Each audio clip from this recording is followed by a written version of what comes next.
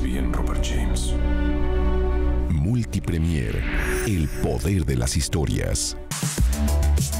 Este programa es clasificación B.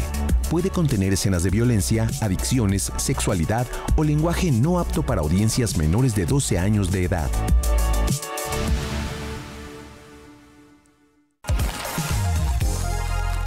En la pantalla grande han existido parejas inolvidables y este snack se lo dedicamos a una de las que más nos ha hecho reír, el gordo y el flaco. No puedes tener a Hardy sin Laurel. Aunque los comediantes Oliver Hardy y Stan Laurel hicieron más de 100 películas a principio del siglo pasado, esta es la primera biopic que se hizo sobre ellos. Los actores John C. Reilly y Steve Coogan fueron la primera opción del director John S. Bayard y al muy suertudo le dijeron que sí. Para transformarse en el comediante Oliver Hardy, el actor John C. Reilly pasaba cuatro horas diarias en maquillaje.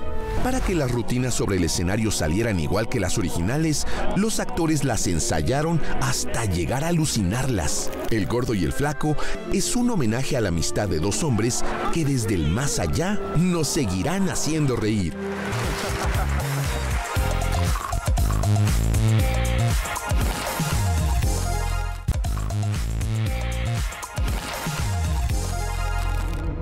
La Casa de los Sustos fue nominada al Oscar, pero te contamos más razones para verla. Pero mamá, algo está mal con esa casa.